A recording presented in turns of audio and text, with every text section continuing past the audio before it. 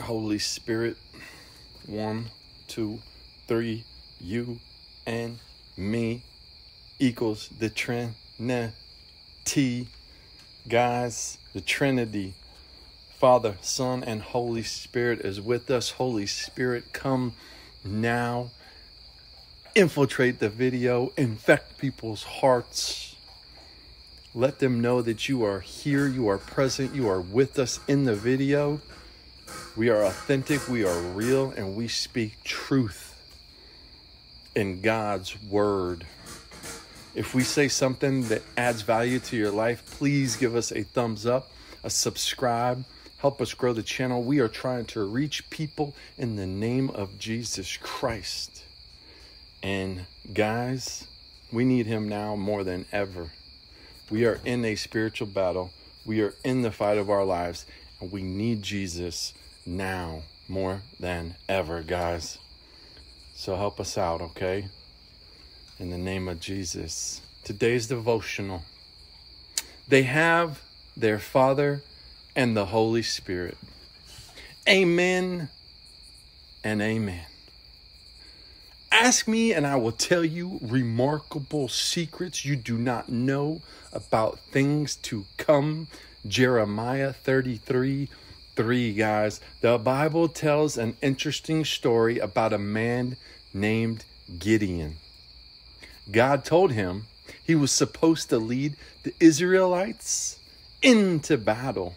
But Gideon was a little on the timid side, we will say. You don't want to say weak or soft. He was just timid, okay? He needed a little assistance. And he wasn't so sure that he was the person God wanted for the job because when God speaks to us, it's not always clear. So he said to God, If you are truly going to use me to rescue Israel as you promised, prove it to me in this way. He asked, I will put on a wool fleece on the threshing floor tonight. If the fleece is wet with dew in the morning, but the ground is dry, then I will know that you are going to help me rescue Israel as you promised. Judges 6 36 through 37. To put into modern terms, to bring it into 2023, it would be like saying, Lord, if this is really from you, I want to go out in the morning and find dew on my car, but not on the ground or anything else. The next morning, the fleece was just as Gideon asked. Ooh, what a surprise.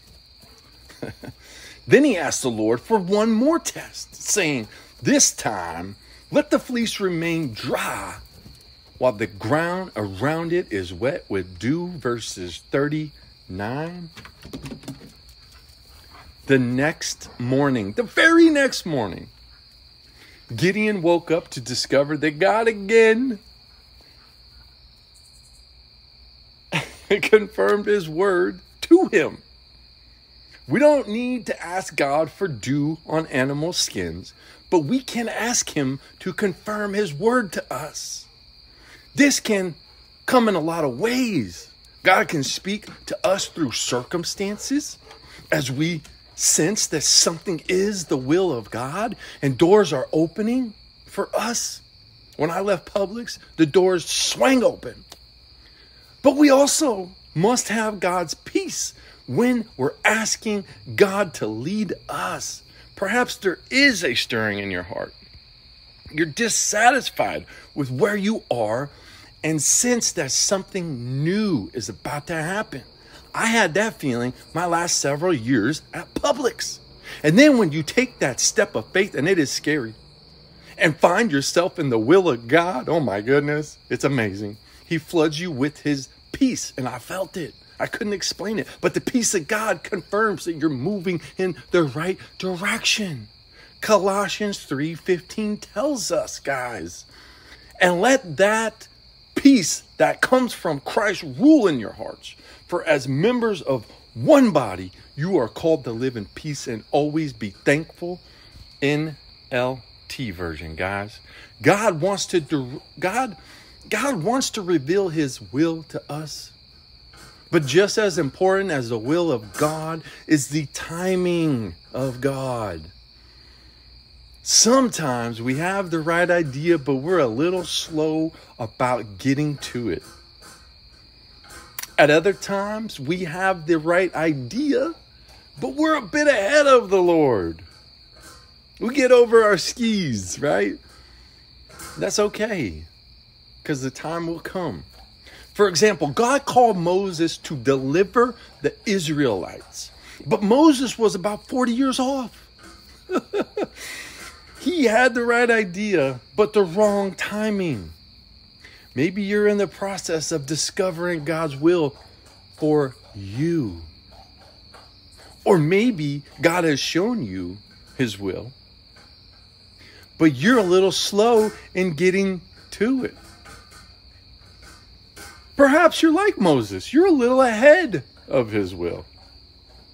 Know this God has a plan and a purpose for your life. My prayer is that you discover that. God, I pray that as we go about our week, Father, that you help us to understand that you are in it with us as we lean in your word says that you lean in as well. When we do, you do. We reap what we sow. These are principles of the Bible written thousands of years ago, Father. But in today's society, it's difficult. We need your help. We need you to show up and show us the way in the early years of the church, you spoke through the prophets. Now you speak through God, through the Holy Spirit to us directly, God. And I'm asking you directly that you step in to people who are watching's lives and you transform it in a way that they know that you are part of it, God.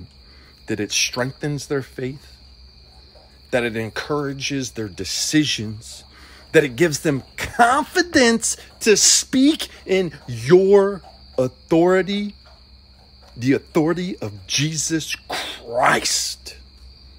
Amen. We move, God. We move in authority. We don't cower. We're not timid. We're not afraid. We stand on the principles of the gospel and we are not afraid to tell people, and we are not afraid to speak truth. God's word is true. The Bible is real. When you begin to read it, you begin to understand that God's word is alive.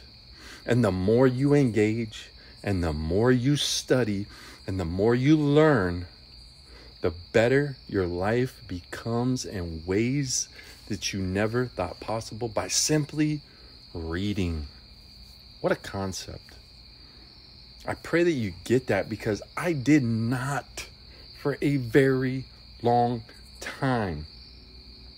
But when I teamed up with Grace Ministries USA and started hanging out with Pastor Bird, I began to understand because he answered every question, every doubt, every concern, never judging, always there. And that is my kind of pastor and one I can get behind. And that's my prayer for you that you find that relationship in your life. But it took intentionality. I had to choose that. I had to let go and give everything to God. And when I did, yeah, it was scary. But fast forward four years, man, he's moving in ways that I can't even explain.